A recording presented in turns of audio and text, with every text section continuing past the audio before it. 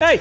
Watch me fix this broken computer. This customer brought in his system for us to fix, and my god, we're dealing with DDR3 components here. This computer belonged to his brother that passed away and wanted to keep it running for sentimental reasons, and he wants to give it to his son so that he could tinker with it and learn about computers. Kinda like how that 1987 Toyota Corolla that leaked more oil than your high school prom date taught you how to respect cars. Honestly, props to this dad for making the kid start from the ground up. He said he recently shipped a computer from his brother's place, and since it got here, it didn't work. Damn, look at these two his brother was for sure on PC Master Race, but it wasn't posting, so we plugged in this old BIOS speaker to help us figure out what could be going on. We were getting a RAM error, so we started reseating the RAM and got the system to post. yeah. But with the RAM only in the 4 slot. Aww. Upon further inspection, we found that some of his CPU pins were bent from the wrath of the UPS shipping. So we touched that up and the system booted up with the RAM installed. And now the DDR3 PC goes into the sunset to teach our future generations.